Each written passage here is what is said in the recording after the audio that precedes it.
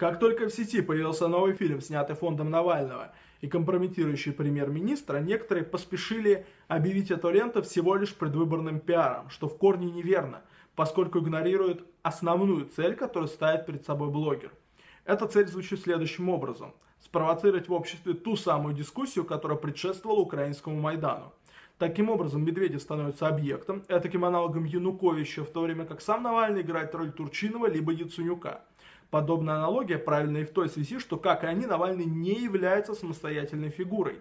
Это не политик, который ради собственной карьеры пытается уничтожать своих политических конкурентов. Все гораздо хуже.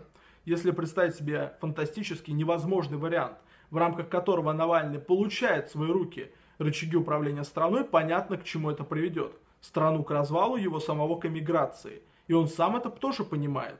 Таким образом, в данном случае личная власть не является самоцелью. Единственная реальная цель – это причинение максимального урона государству. Навальный идеально подходит для реализации этой задачи, потому что начинал он именно с того, что, обладая небольшим пакетом акций, прикрываясь интересами миноритариев, пытался нанести значительный вред крупным российским компаниям в 2010 году Транснефти, в 2012 ВТБ – Тогда он пытался добиться для компании ни много ни мало штрафа в размере полумиллиарда долларов. Теперь эта стратегия переносится на саму страну, а заодно еще и повышаются ставки. Причем соседствуют этому новые агрессивные заявления на Западе. Так, 3 марта заместитель командующего сил НАТО в Европе Эдриан Брэдшоу прямо заявил, что Россия будет угрозой для США и для Запада, пока у власти будет оставаться Владимир Путин. То есть все говорится открытым текстом.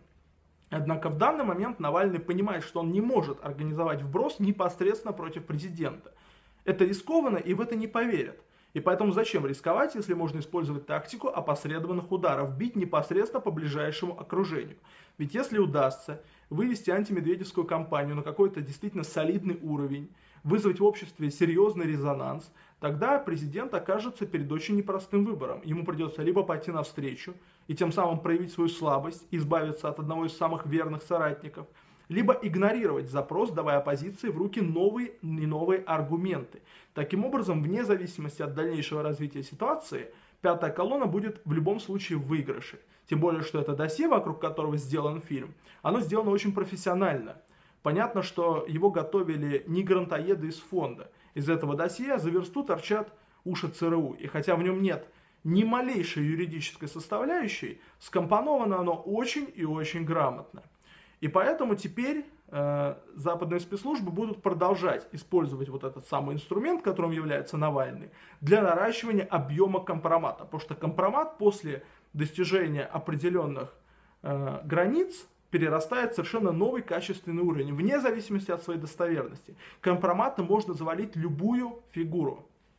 Нам же сегодня надо просто-напросто задуматься о другом вопросе. Если в стране действует человек, который открыто занимается информационным терроризмом, который открыто использует информацию, полученную непонятно от кого, который пытается нагнетать действительно революционную ситуацию – то можем ли мы в нынешней ситуации допустить, чтобы это происходило дальше? Если можем, тогда надо просто ждать, пока революционная ситуация действительно достигнет критического уровня, когда сделать что-либо будет уже поздно. Если же нет, тогда надо понимать, что таких людей надо закрывать, не оглядываясь на Запад. Людей, которые занимаются уничтожением государства.